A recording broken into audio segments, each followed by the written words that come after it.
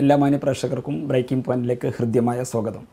ഇന്ന് നമ്മോടൊപ്പം അതിഥിയായിട്ടുള്ളത് അഖിലേന്ത്യാ സുന്നി ജമിയത്തുൽ ഉലമ ജനറൽ സെക്രട്ടറിയും മർക്കസ് സ്ഥാപനങ്ങളുടെ മേധാവിയും നമ്മുടെ ഇന്ത്യയിലെ ഏറ്റവും പ്രമുഖ പണ്ഡിതന്മാരിൽ ഒരാളുമായ കാന്തപുരം എ പി അബൂബക്കർ മുസ്ലിയാർ അവർകളാണ് ഉസ്താദ് ബ്രേക്കിംഗ് പോയിന്റിലേക്ക് സ്വാഗതം.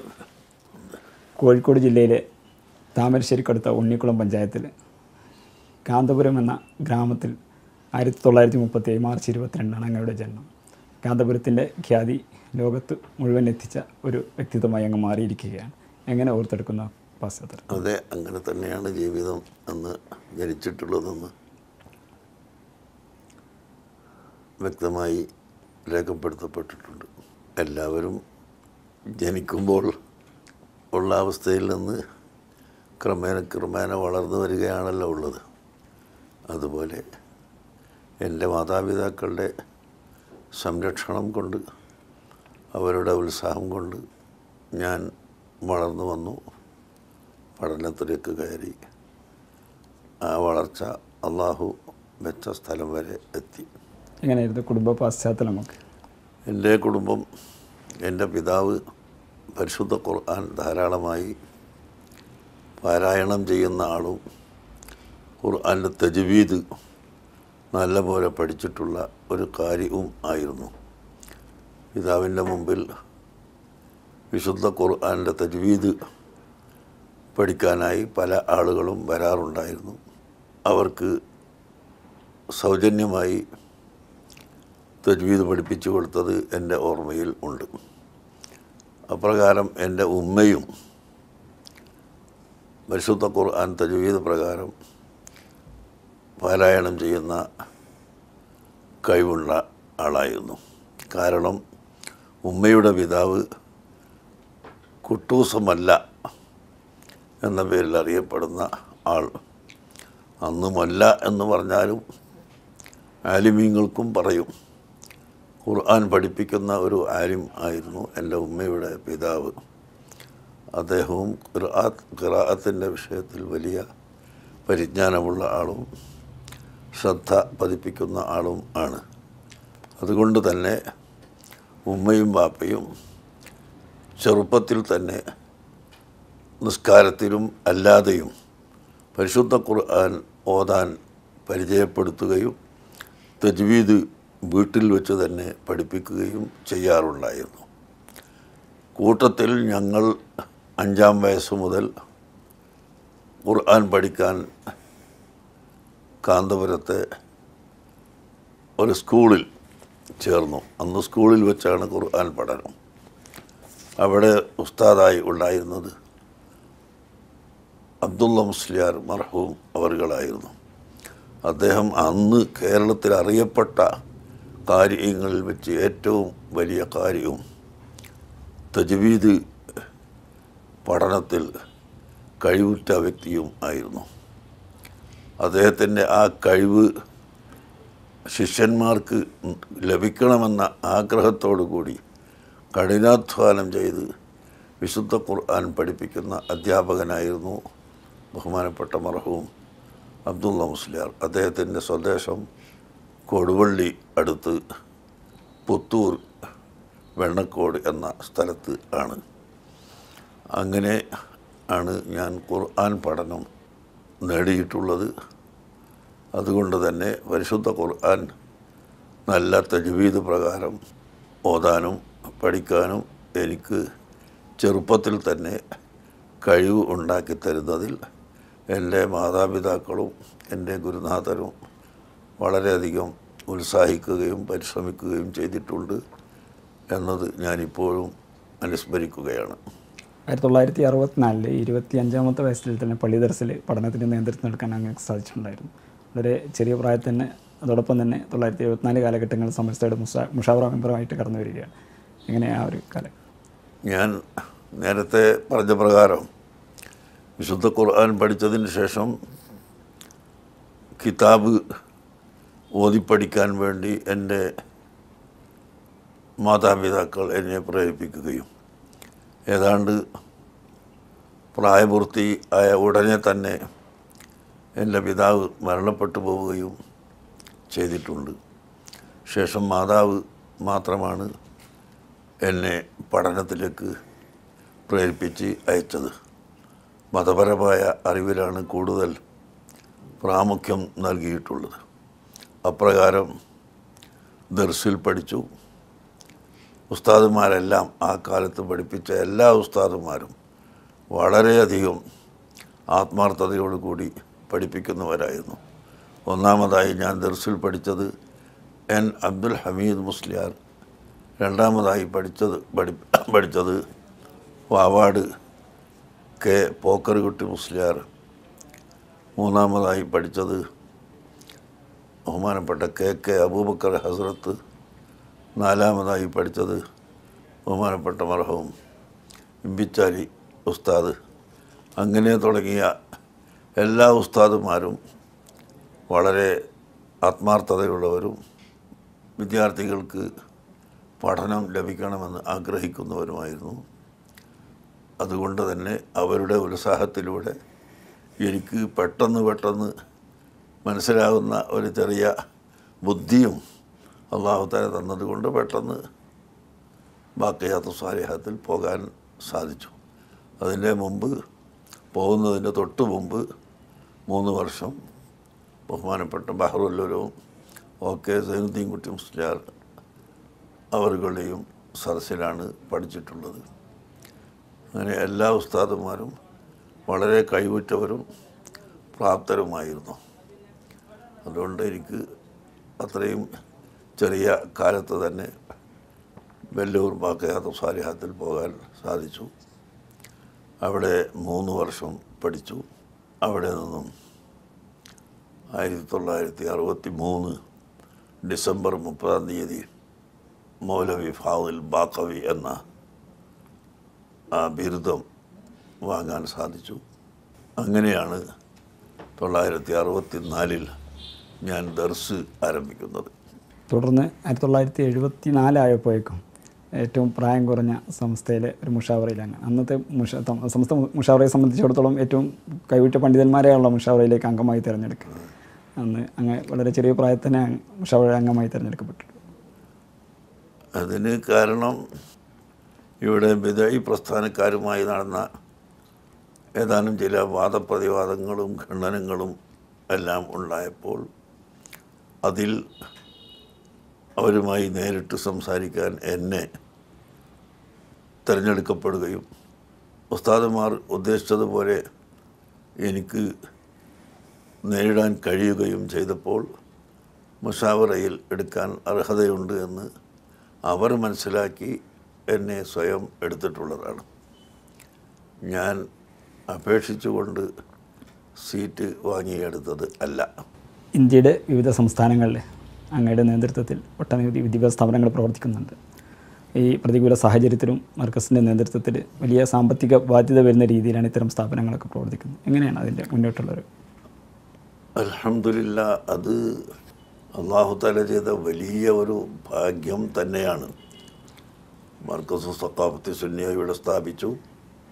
ഇവിടെ പ്രവർത്തനം നടത്തിക്കൊണ്ടിരിക്കുമ്പോൾ തന്നെ നമ്മുടെ ഇന്ത്യ രാജ്യത്ത് വിവിധ സ്റ്റേറ്റുകളിൽ അങ്ങേയറ്റം പാവപ്പെട്ടവരും കഷ്ടപ്പെട്ടവരും ഉണ്ട് എന്ന് മനസ്സിലാക്കുകയും അവരുമായെല്ലാം ബന്ധപ്പെടാൻ സാധിക്കുകയും ചെയ്തതിന്റെ അടിസ്ഥാനത്തിൽ പ്രവർത്തനങ്ങൾ കേരളത്തിൽ നിന്നും വ്യാപിപ്പിക്കുകയും പ്രവർത്തിക്കുകയും ചെയ്തു. എല്ലാവരും സ്വാഗതം ചെയ്യുന്ന വിഷയങ്ങളാണ് ഞങ്ങൾ പ്രവർത്തിച്ചുകൊണ്ടിരിക്കുന്നത്. അതുകൊണ്ട് തന്നെ ഞങ്ങൾക്ക് വിജയം ലഭിച്ചുകൊണ്ടിരിക്കുകയാണ്. പിന്നെ പ്രതികൂല സാഹചര്യം എന്നത് പറയേണ്ടതില്ല. അത് ലോകത്ത് എന്ത് പ്രവർത്തിക്കുമ്പോഴും പ്രതികൂലം ഉണ്ടാകും. പ്രതികൂലികളും ഉണ്ടാകും. അവർ തന്നെ പിന്നീട് അനുകൂലികളായി മാറുന്ന അവസ്ഥ നമുക്ക് കാണാൻ സാധിച്ചിട്ടുണ്ട്. അപ്രകാരം ഇതിലും ചില പ്രതികൂല അവസ്ഥയും ഇത് പ്രവർത്തനങ്ങളുമെല്ലാം ഉണ്ടായിട്ടുണ്ടെങ്കിലും ഞങ്ങൾ അങ്ങനെയുള്ള പ്രതികൂല സാഹചര്യങ്ങളെയോ പ്രതികൂല പ്രവർത്തനങ്ങളെയോ പരിഗണിക്കാറില്ല. ഞങ്ങളുടെ നയവും ഞങ്ങളുടെ നിലപാടുമായി മുന്നോട്ട് നീങ്ങുക അതാണ് ഞങ്ങളുടെ പതിവ്. അതുകൊണ്ട് തന്നെയാണ് വിജയം കൈവരിച്ചു കൊണ്ടിരിക്കുന്നത് സ്ത്രീകളുടെ ഉന്നമനത്തിനും വിദ്യാഭ്യാസത്തിനും ഈ സുന്നി സമൂഹം എതിരാണെന്നൊരു വ്യാപകമായ പ്രചരണം ചില കേന്ദ്രങ്ങളിൽ നിന്നും ഉയർന്നു വരുന്നുണ്ട്. ഇതിൽ വല്ല അടിസ്ഥാനവുമുണ്ട്? സ്ത്രീകളുടെ വിദ്യാഭ്യാസത്തിനും ഉന്നമനത്തിനും എതിരാണെന്നത് വെറും കുപ്രചരണം മാത്രമാണ്. സുന്നി വിരുദ്ധരുടെ കുപ്രചരണത്തിൽ നിന്നാണ് അത് ഉണ്ടാകുന്നത്. അതേസമയം സ്ത്രീകൾ പുരുഷന്മാരെ പോലെ എല്ലാ രംഗത്തും രംഗപ്രവേശനം ചെയ്യാൻ പാടില്ലെന്നും അവരുടെ രംഗപ്രവേശനത്തിനും പ്രവർത്തനത്തിനും പരിധികളുണ്ടെന്നും സുന്നികൾ എന്നും പറയുന്നുണ്ട്. ഇസ്ലാം വെച്ചിട്ടുള്ള നിരവധി പരിധികൾ ഉണ്ട്. ആ പരിധിയുടെ ഉള്ളിൽ നിന്നുകൊണ്ടല്ലാതെ സ്ത്രീകൾ പ്രവർത്തിക്കാൻ പാടില്ല എന്ന കർശനമായ നിയമം ഞങ്ങൾ പറയുന്നത് കൊണ്ട് അത് വളച്ചൊടിച്ച് സ്ത്രീകളുടെ പുരോഗതിക്ക് ഞങ്ങളെതിരാണെന്ന് വരുത്തി തീർക്കാൻ ചിലർ ശ്രമിക്കുകയാണ്.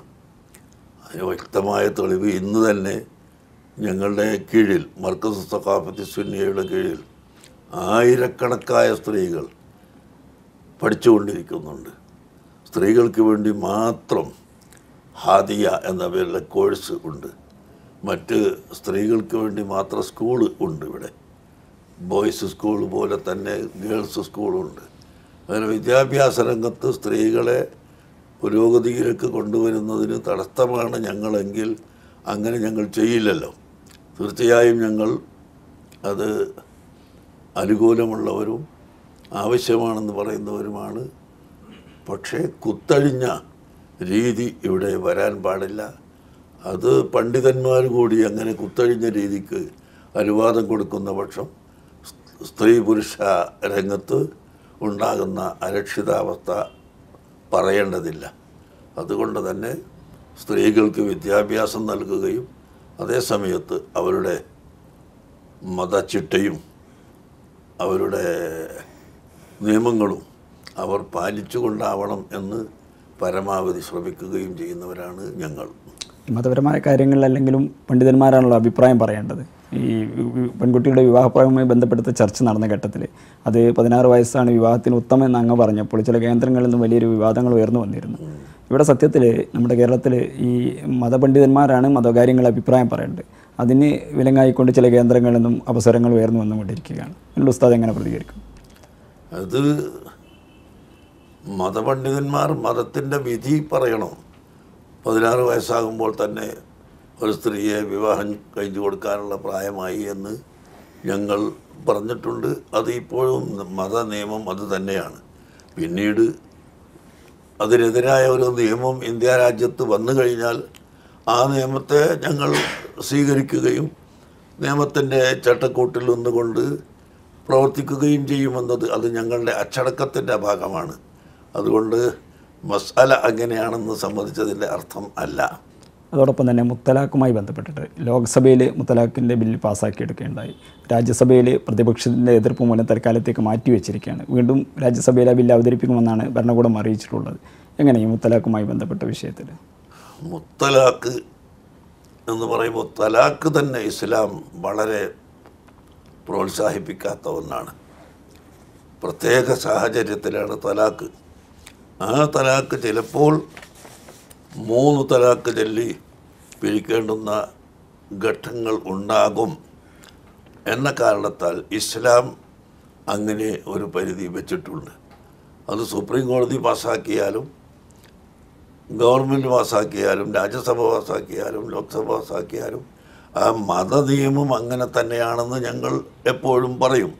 അതേസമയത്ത് ഞാൻ നേരത്തെ പറഞ്ഞതുപോലെ ഒരു വിധി ഗവൺമെന്റ് ഇവിടെ പാസ്സാക്കി കഴിഞ്ഞാൽ അതിനെ എതിർത്തുകൊണ്ട് മുന്നോട്ട് പോകുന്ന ഒരവസ്ഥയല്ല ഞങ്ങളുടെ അവസ്ഥ ഉള്ളത് അത് പരമാവധി അംഗീകരിക്കാനും സ്വീകരിക്കാനും ജനങ്ങൾ നിർബന്ധിതരായിത്തീരും.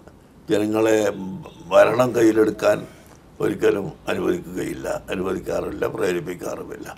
അതുകൊണ്ട് നിയമം മാറ്റമാണെന്ന് പറയാൻ പറ്റില്ല. നിയമം നിയമം തന്നെയാണ്. അങ്ങയുടെ സ്വപ്ന പദ്ധതിയായ നോളജ് സിറ്റിയുടെ പ്രവർത്തനങ്ങൾ എവിടെ വരെ എത്തി? എന്തൊക്കെ പദ്ധതികളാണ് അതുമായി ബന്ധപ്പെട്ട് നടപ്പിലാക്കാൻ ഉദ്ദേശിക്കുന്നത്? അലഹമില്ല പദ്ധതി കൊണ്ടുവരാൻ തന്നെ കാരണം മർക്കസ് സക്കാഫത്ത് സുന്നിയ ഇവിടെ കാരന്തൂരിൽ ആരംഭിച്ചു. അത് വളർന്ന് വികസിച്ച് വിദ്യാർത്ഥികളുടെ എണ്ണവും വിദ്യാർത്ഥികൾക്ക് പഠന സൗകര്യത്തിന്റെ ആവശ്യവും കൂടി വന്നപ്പോൾ അതിന് സ്ഥല സൗകര്യവും മാർഗവും ഇവിടെ ഇല്ലെന്ന് കാണുകയും വികസിപ്പിക്കാൻ തീരുമാനിക്കുകയും ചെയ്തതിന്റെ അടിസ്ഥാനത്തിലാണ് ഞങ്ങൾ പുതിയ ഒരു സ്ഥലം കണ്ടെത്തിയത്. അലഹമില്ല ഇന്ന് അവിടെ law college Unani medical college എല്ലാം കൃത്യമായി നടന്നുകൊണ്ടിരിക്കുന്നു. ഭിന്നശേഷിക്കാരുടെ സ്ഥാപനം ഏകദേശം അവിടെ പൂർത്തിയായിക്കൊണ്ടിരിക്കുകയാണ്. അതോടൊപ്പം മറ്റ് വിദ്യാഭ്യാസപരമായ പല സ്ഥാപനങ്ങളും ഉയർന്നുകൊണ്ടിരിക്കുന്നു. സാമ്പത്തികമായ അവസ്ഥ കൂടി പരിഗണിച്ചാണല്ലോ എല്ലാം മുന്നോട്ട് നീങ്ങുന്നത്. അതനുസരിച്ച് ജനങ്ങളുടെ പിന്തുണ വളരെയധികം ഈ നോളജ് സിറ്റിയുടെ പിന്നിൽ ഉണ്ട്. എല്ലാവരും ആഗ്രഹിക്കുന്ന ഒരു സ്വപ്നം തന്നെയാണ് എന്ന് മനസ്സിലാകുന്ന വിധത്തിൽ അലഹമില്ല ഇവിടുത്തെ ഒരു തൊണ്ണൂറ് ശതമാനം ജനങ്ങളും ഈ നോളജ് സിറ്റിയോട് അനുകൂലിക്കുന്നവരും അതിനുവേണ്ടി സഹായ സഹകരണങ്ങൾ നൽകുന്നവരുമാണ്. അതിനാൽ ഇൻഷാല്ല അടുത്ത ഘട്ടങ്ങളിലായി അതിന്റെ പ്രവർത്തനം ഇനിയും ഇനിയും വളരെയധികം ത്വരിതപ്പെടുത്താനും ശക്തിപ്പെടുത്താനും സാധിക്കുമെന്ന് ഞങ്ങൾ പ്രതീക്ഷിക്കുന്നു. അള്ളാഹുവിനോട് പ്രാർത്ഥിക്കുന്നു. മലയാളക്കരയിലെ ഏറ്റവും വലിയൊരു പള്ളി അത് രണ്ടായിരത്തി പന്ത്രണ്ട് ജനുവരി മുപ്പതിനാണ് അങ്ങയുടെ പ്രഖ്യാപനം വന്ന് തറക്കല്ലിട്ടത്. മസ്ജിദുൽ സാർ അതിന്റെ നിർമ്മാണ പ്രവൃത്തികൾ എവിടെ വരെ എത്തി? അലഹമില്ല അള്ളാഹുവിന്റെ അനുഗ്രഹത്താൽ അത് പുരോഗമിച്ചുകൊണ്ടിരിക്കുന്നു. എത്രയും പെട്ടെന്ന് അത് പോവണിയുമെന്നാണ് ഞങ്ങളുടെ പ്രതീക്ഷ. അള്ളാഹു അതിന് അനുഗ്രഹിക്കുമാറാകട്ടെ. തെരഞ്ഞെടുപ്പ് വേളയിൽ സ്വീകരിക്കുന്ന ചില നിലപാടുകൾ ഏറെ ശ്രദ്ധ ആകർഷിക്കാറുണ്ട് പല ഘട്ടങ്ങളിലും. അത് ഒരു മതപണ്ഡിത നിലക്കാണോ ഇത്രയും വിവാദങ്ങളാവുന്നത് അത്തരം നിലപാടുകൾ? ഞങ്ങളുടെ നയം നേരത്തെ തന്നെ ഒരു പ്രത്യേക രാഷ്ട്രീയത്തിൽ ഊന്നി നിന്നുകൊണ്ടുള്ള പ്രവർത്തനം പാടില്ലെന്നും എല്ലാവർക്കും കടന്നു വരാവുന്ന ഒരു പ്രസ്ഥാനമാണ് ഞങ്ങളുടെ സംഘടന എന്ന നിലയ്ക്ക് രാഷ്ട്രീയ ഭിന്നതകൾ അതിന്റെ ഉള്ളിൽ കൊണ്ടുവരാതിരിക്കണമെന്നുമാണ് ഞങ്ങളുടെ ആഗ്രഹം. അതാണ് നേരത്തെ തന്നെ സമസ്ത കേരള ജമീയത്തുലമ പ്രഖ്യാപിച്ചിട്ടുള്ളതും പഠിപ്പിച്ചിട്ടുള്ളതുമായ നയം. ഒരു പള്ളിയിൽ ഒരു ഖത്തീബ് ഉണ്ടാകുമ്പോൾ ആ പള്ളിയിൽ വിവിധ രാഷ്ട്രീയക്കാർ ഉണ്ടാകും. ഈ ഖത്തീബ് ഏതെങ്കിലും ഒരു രാഷ്ട്രീയ പാർട്ടിയായി മാറിയാൽ മറ്റുള്ളവരുടെ എതിർപ്പ് വരുമല്ലോ. അത് വരാതിരിക്കാൻ പരമാവധി ശ്രമിക്കുകയും പള്ളിയിൽ വരുന്ന എല്ലാവർക്കും ഹത്തീബ് ഹത്തീബായി തന്നെ നിൽക്കുകയും ചെയ്യണമെന്ന ആഗ്രഹമാണ് ഞങ്ങൾക്കുള്ളത്. അതുകൊണ്ടാണ് ഞങ്ങൾ പ്രത്യേക രാഷ്ട്രീയ പാർട്ടിയായി സംഘടിക്കാതെ മുന്നോട്ട് നീങ്ങണമെന്ന് തീരുമാനിക്കുകയും അങ്ങനെ പ്രവർത്തിച്ച് വരികയും ചെയ്യുന്നത്. ആ പ്രവർത്തനത്തിനിടയിൽ ചിലപ്പോൾ ചില സാഹചര്യങ്ങളുടെ വെളിച്ചത്തിൽ ഏതെങ്കിലും ചിലർക്ക് ശക്തി കൊടുക്കുകയും പിന്തുണ കൊടുക്കുകയും ചെയ്തു എന്ന് വരാം. അത് ചെയ്യാറുണ്ട്. എന്നല്ലാതെ ഞങ്ങൾ ചില ജയ ജയപരാജയങ്ങൾക്ക് ഇടയാവാറും ആ അത് ചിലപ്പോൾ ജയിക്കും ചിലപ്പോൾ പരാജയപ്പെടും. അത് രാഷ്ട്രീയ പാർട്ടികളും അങ്ങനെ തന്നെയാണല്ലോ. എന്നല്ലാതെ ഞങ്ങൾ ഒരു രാഷ്ട്രീയമായ നിലപാട് പ്രത്യേകമായി ഒരു ഒരു സംഘടനയിൽ ചേർന്നുകൊണ്ടുള്ള പ്രവർത്തനം അല്ല.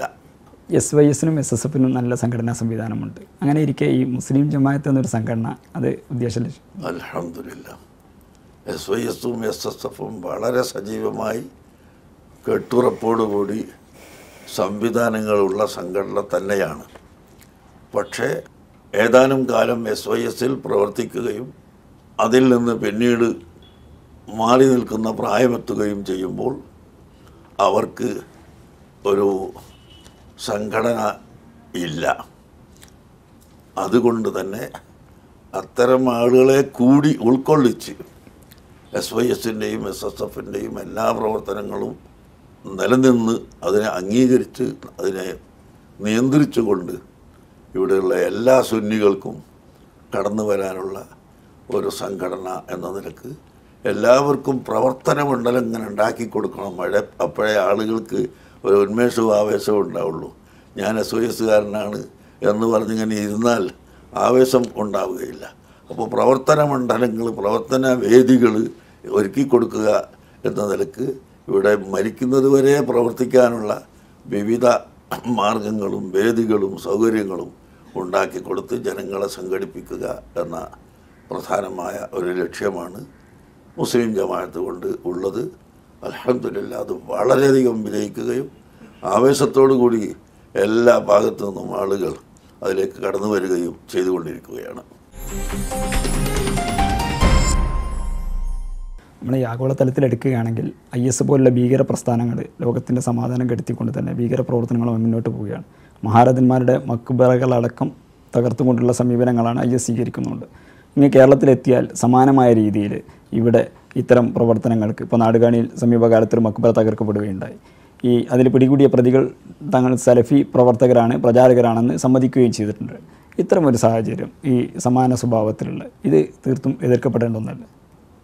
ഞങ്ങളിവിടെ ഇല്ലായിരുന്നുവെങ്കിൽ ധാരാളം ആളുകൾ അത്തരം സലഫിസത്തിലേക്കും ഭീകരതയിലേക്കും വന്ന് കടന്ന് ചാടിപ്പോകുമായിരുന്നു.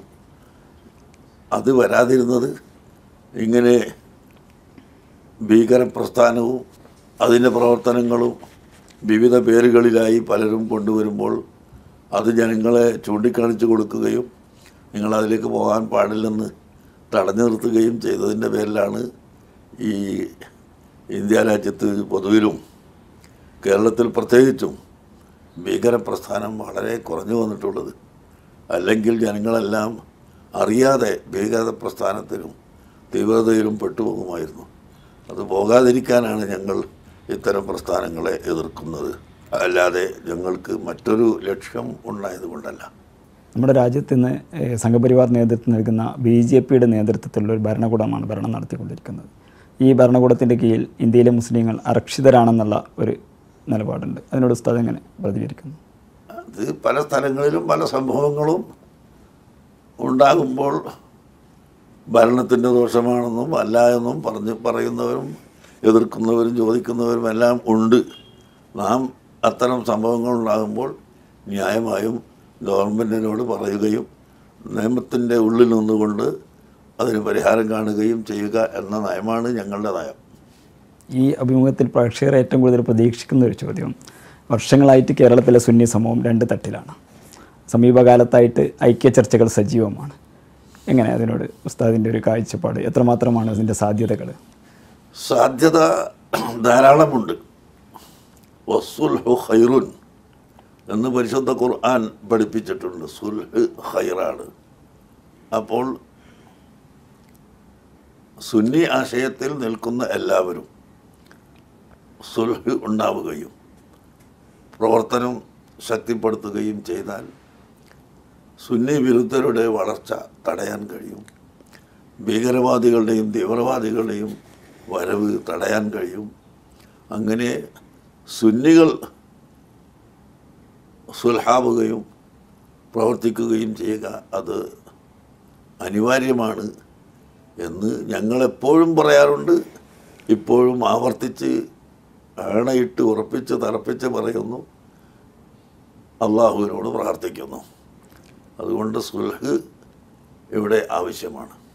ഇരു വിഭാഗവും അതിനായിട്ട് കമ്മിറ്റികളൊക്കെ തന്നെ തിരഞ്ഞെടുക്കപ്പെട്ടിട്ടുണ്ട് പ്രതിനിധികളെ തിരഞ്ഞെടുക്കപ്പെട്ടിട്ടുണ്ട്. അതുമായിട്ട് ബന്ധപ്പെട്ടുള്ള ചർച്ചകളുടെ പുരോഗതി എത്രമാത്രമാണ് ചർച്ചകൾ ആരംഭിച്ച് കഴിഞ്ഞിട്ടില്ല.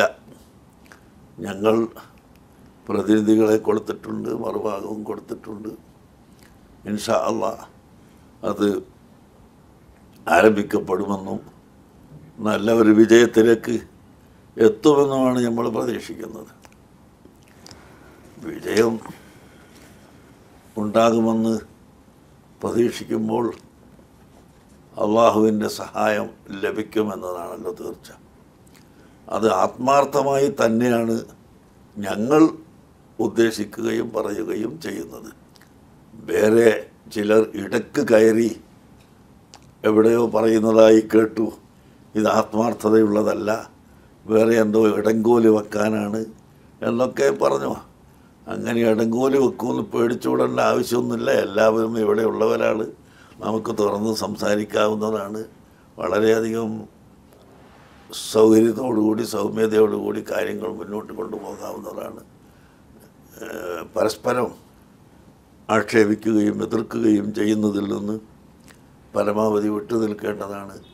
പിന്നെ ഐക്യം എന്ന് പറഞ്ഞാൽ ഇവിടുത്തെ ഇന്ത്യ രാജ്യത്തുള്ള മുഴുവൻ ജനങ്ങളും ഐക്യത്തിലാണ്. ഇന്ത്യയുടെ അഖണ്ഡത കാത്തു സൂക്ഷിക്കണമെന്ന വിഷയത്തിൽ ഹിന്ദു മുസ്ലിം ക്രിസ്ത്യൻ എല്ലാവരും. അതുകൊണ്ട് മുസ്ലിമുകളുടെ ആശയം ഹൈന്ദവരും ഹൈന്ദവരുടെ ആശയം മുസ്ലിംകളും പങ്കുവെക്കുകയെന്ന് അർത്ഥമില്ലല്ലോ. അതുപോലെ ഇവിടെ എല്ലാ ജനങ്ങളും ഈ രാജ്യത്തിന്റെ അഖണ്ഡത കാത്തു സൂക്ഷിക്കാനും ഭദ്രത നിലനിർത്താനും മറ്റൊരു ഭാഗത്ത് ഐക്യപ്പെടുന്നു. അതേസമയത്ത് ആശയത്തിൽ സുന്നികൾ മാത്രമാണ് ഐക്യപ്പെടാൻ സാധിക്കുന്നത്. സുന്നിയേതര ആശയക്കാരുടെ ആശയങ്ങൾ തെറ്റാണെന്ന് ജനങ്ങൾക്ക് ബോധ്യപ്പെടുത്തേണ്ടി വരും. അത് പറയേണ്ടി വരും. അത് പറഞ്ഞുകൊണ്ടേയിരിക്കും. അത് പറയാൻ വേണ്ടിയാണ് ഇവിടെ സമസ്ത കേരള ജമിയത്തുൽ ഉലമ എന്ന സംഘടന രൂപീകൃതമായിട്ടുള്ളത്. ആ സമസ്തയുടെ ലക്ഷ്യത്തിൽ നിന്ന് വഴുതിപ്പോകുന്നതിനെയാണ് നാം വളരെയധികം സൂക്ഷിക്കേണ്ടതും ശ്രദ്ധിക്കേണ്ടതും എതിർക്കപ്പെടേണ്ടതും. ഈ ഒരു സുന്നികളുടെ ഒരു ഐക്യം യാഥാർത്ഥ്യമായി കഴിഞ്ഞാൽ കേരളത്തെ സംബന്ധിച്ചിടത്തോളം ഏറ്റവും വലിയൊരു പ്രബലമായ ഒരു കക്ഷികളായി മാറാൻ പോവുകയാണ്.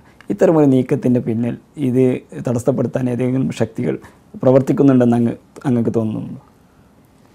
അതെ സുന്നി ആശയം ഹൃദയത്തിലില്ലാത്ത എല്ലാവരും ഇതിനെ എതിർക്കുന്നുണ്ട്. സുന്നിയായി ഈ ഹൃദയത്തിൽ സുന്നിസം ഊട്ടി ഉറപ്പിക്കപ്പെട്ട എല്ലാവരും ആഗ്രഹിക്കുന്നു. അത് ഹൃദയത്തിൽ സുന്നില്ലാതെ പുറത്ത് ഇങ്ങനെ സുന്നിയായിട്ട് നടക്കുന്നവരും അല്ലെങ്കിൽ സുന്നി അല്ല അല്ല എന്ന് പറയുന്നവരും എല്ലാം അതിനെ എതിർക്കുന്നുണ്ട്. ഈ സമസ്തയുടെ ഇരു വിഭാഗത്തിന്റെ പുറമെ ഈ ദക്ഷിണ കേരള ജമിയത്തുലമ എന്നൊരു സംഘടനയും അതോടൊപ്പം സതക്കത്തുള്ള രൂപീകരിച്ച സംസ്ഥാന എന്നൊരു സംഘടനയും നിലനിൽക്കും ആ. രണ്ട് സംഘടനകളോടും എങ്ങനെയാണ് ഉസ്താദിന്റെ ഒരു കാഴ്ചപ്പാട്? അത് വ്യത്യസ്ത സംഘടന എന്ന നിലയ്ക്ക് വേറിട്ട് നിൽക്കുന്നു എന്നല്ലാതെ ഞങ്ങൾ പ്രത്യേകമായ ഒരു ഏറ്റുമുട്ടലൊന്നും ഇതുവരെ ഉണ്ടായിട്ടില്ല. ഇൻഷാ അല്ല ഇനി അവരുമായും ഏതെങ്കിലും ഒരു സമയത്ത് ഒരു മസലഹത്ത് ചർച്ചയും ഐക്യ ചർച്ചയും ഉണ്ടായിക്കൂടാ എന്നും എന്തായാലും ഇത്രയും സമയം ദർശന ടി വിക്ക് വേണ്ടി സഹകരിച്ചതിന് വളരെയധികം നന്ദി. അലഹമില്ല ഈ യാഥാർത്ഥ്യം ജനങ്ങളുടെ മുമ്പിൽ എത്തിച്ചു കൊടുക്കാൻ നിങ്ങൾ സമയമെടുത്തതിൽ നിങ്ങളോട് നമുക്കും നന്ദിയുണ്ട്. ഇനിയും നമുക്ക് ഇത്തരം കാര്യങ്ങൾ ചർച്ച ചെയ്യാൻ സാധിക്കട്ടെ എന്ന് പ്രാർത്ഥിച്ചുകൊണ്ട് നിങ്ങളുടെ പ്രവർത്തനത്തിന് അള്ളാഹു എല്ലാ ഗുണങ്ങളും ചെയ്തു തരട്ടെ എന്ന് പ്രാർത്ഥിച്ചുകൊണ്ടും അവസാനിപ്പിക്കുന്നു. അസ്സലാമു അലൈക്കും.